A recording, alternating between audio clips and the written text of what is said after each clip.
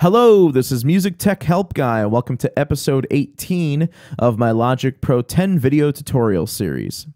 In this video and in the next several videos, we'll be taking a look at Flex Time, a feature that came out with Logic 9 and is also in Logic 10. Uh, what Flex Time does is it's a lot like Elastic Audio in Pro Tools or other DAWs. What it allows us to do is it allows us to apply time compression or time expansion to audio waveforms. So this allows us to correct timing issues or rhythmic issues in our music. It also includes the ability to quantize the transients in our audio recording. So that's pretty nice.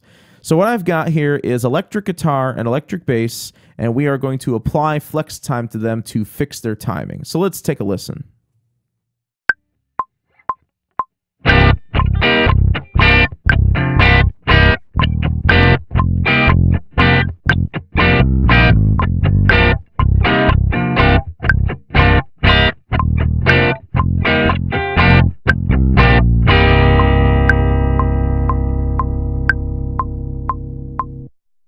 Right, so those two recordings, they don't sound bad, but they haven't been edited in any way.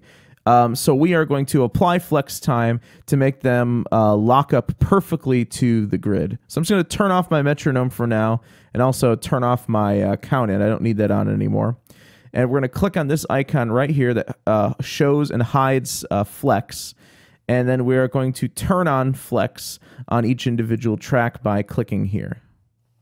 And what this does is it analyzes uh, the waveform for transients, uh, which are essentially just uh, loud points, um, attack points in the uh, in the waveform. So you can see where each chord or where each note is. So after flex time analyzes the waveforms, we have to choose a specific um, flex algorithm or flex mode for each track. What it's done by default is it's selected slicing for both of these. Notice it says auto next to it. It's automatically choosing slicing as the best flex mode. And there's a bunch of different flex modes. Um, they're all located right here in this menu. Um, we're actually going to use uh, polyphonic for the guitar, and we're going to use monophonic for the bass. Um, it very well may be that slicing is the best choice here based on the material. And basically, what our flex modes do, or flex algorithms do, is they um, determine how the audio is treated. So with polyphonic mode, uh, you want to use uh, that for instruments that play multiple notes at a time, like guitar chords, piano chords, anytime there's multiple notes going on simultaneously. For the bass, I'm going to choose monophonic because that's used for instruments that only play one note at a time, like bass or a vocal melody. So what you can do with these transient markers is based on your snap mode, uh, I'm going to choose division for this. Based on your snap mode, you can grab uh, each of these transient markers, and when you click on them, it actually turns them into flex markers. And then you can snap uh, each of these in place based on the snap mode that you chose. So one way to correct your timing is to go and manually snap each one of these transient markers to the grid. I should also mention that when you stretch material or expand material, it'll be shown in white, the waveform will. And then when you compress material, it'll be shown in a darker color of whatever your region color is. So here my region color was blue, so a compressed compressed material was shown in blue. So another way to do this is to add multiple flex markers um, simultaneously without having to do them each uh, individually. So I'm just going to undo all of these flex markers I made and what you do is you hover over the middle point of the waveform and you'll get this uh, three line cursor rather than the single line flex cursor. And when you click on that, it'll create three uh, flex markers for you one to the right, one to the left, and one in the center rather than just creating one. And you can move the middle one, and it will um, basically the left and right ones will act like a pivot point for the middle one to be moved uh, between.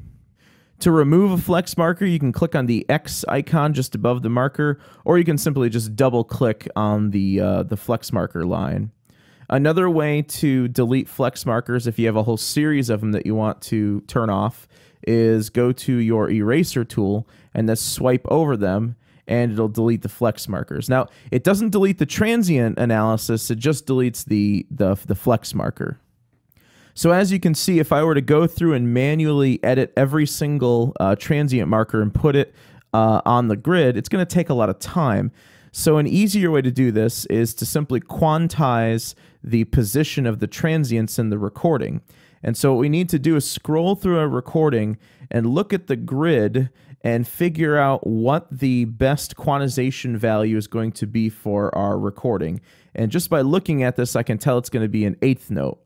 So what I'm going to do is select uh, either the region or the track, go over to my region parameters in the inspector over here, go to quantize, and change the quantize val value to an eighth note. And what's going to happen, as, as you can see there, each transient marker turned into a flex marker and snapped to the nearest uh, eighth note on the grid. So next I'm going to take a look at the bass and figure out what the best quantization value for this is. It looks like mostly quarter notes, but there are some eighth note passages, so I'm going to go with an eighth note uh, over a quarter note. And you'll also notice that there's a couple spots where the uh, the transient marker isn't quite in the right place, like right here at the end. Um, that's just something we'll have to deal with later. So just like we did before, I'm going to use the inspector's region parameters to quantize to an eighth note. Everything is locked to an eighth note. And again, here's another example where the uh, the transient marker is not in the right place. That's okay. We'll fix that later. Um, one more thing I want to do before I uh, let you hear what this sounds like is back on the guitar. Uh, since we're using polyphonic mode, there's a track parameter here uh, called complex, and this is just there for polyphonic mode. You want to make sure you turn that on. Uh, what it does is it pumps more system resources into the polyphonic algorithm to make sure that the quality is at its best. If you don't turn that on, you run the risk of the recording sounding like it's underwater or kind of gargled sounding. So let's listen to what this sounds like.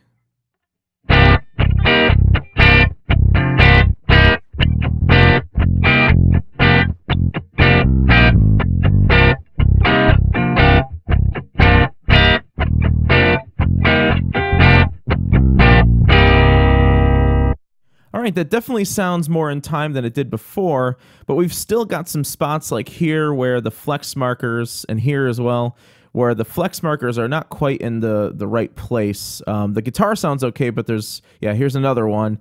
Um, they're all in the bass. There's three spots where the flex marker is not in the right place. Now I can double click on those to uh, to turn them off, and they won't be affected by the quantization, and they'll be more uh, where they should be.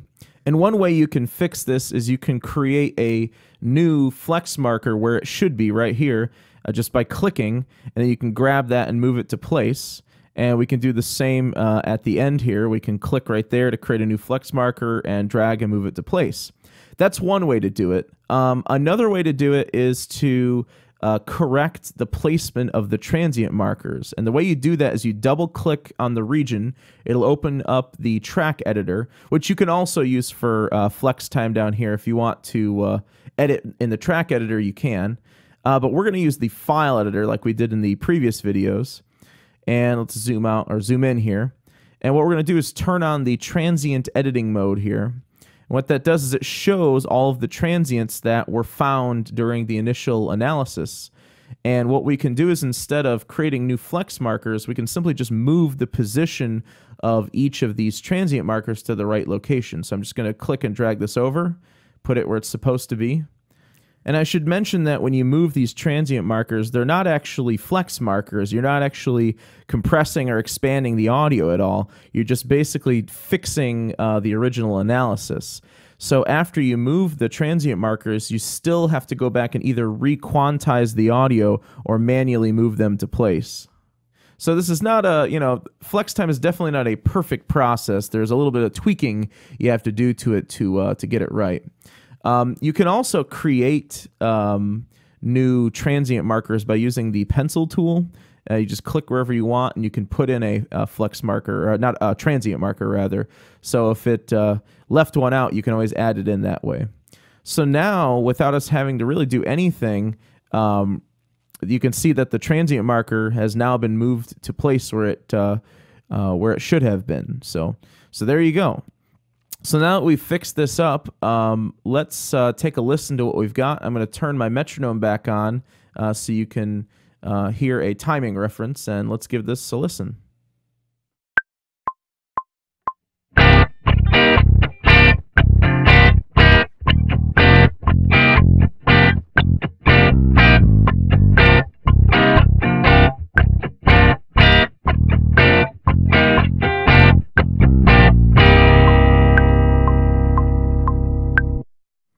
Right, those sound great. They match up to the grid, they match up to the metronome really well. Uh, one thing you're probably going to want to do is once you're ready to commit to these edits, you are going to want to render them in place or do like a bounce in place. Remember, that's uh, Control B, and that will render all of the edits into a new file so that you're not using up uh, any extra system resources. All right, so in this video, we just covered the polyphonic and monophonic uh, modes. In the next video, we'll talk about flex time and drums, and we'll use the rhythmic algorithm as well as the slicing algorithm. And then after that, we'll move on to um, the last two, the uh, tempophone and speed, and then after that, we'll move on to flex pitch. So I hope you enjoyed the video, and thanks again for watching.